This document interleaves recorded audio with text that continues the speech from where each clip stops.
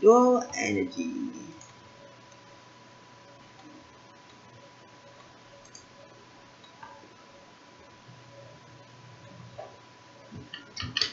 Done. Dual energy have various profile. At the moment, we are looking at kidney stone profiles. syngo.via will automatically detect the scan protocol and assign the profile closest to. So for this case, it's a kidney scan, so the kidney stone profile is applied. If you need to change any of the profile, you just go patient profile and change the profile that's required. So kidney stones. Anything that is marked blue is a calcified stone. Red is a uric acid stone. So based on the difference in Hounsfield unit between the low energy and the high energy, the machine will give an estimate of where the stones may be.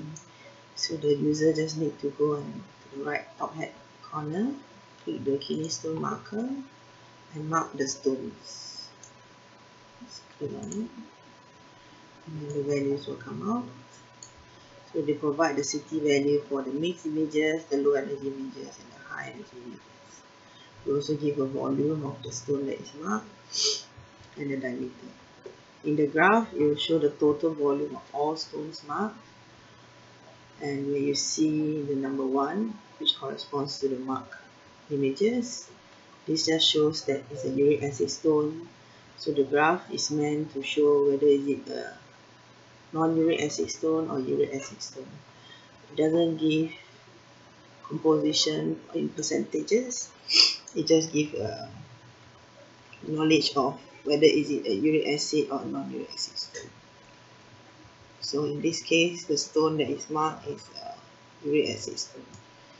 This will help the radiologist to suggest further diagnosis and evaluation.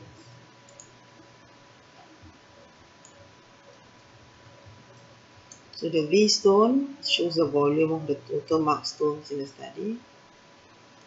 And if you need individual volume, it's labeled in each marked area. That's all for kidney stones.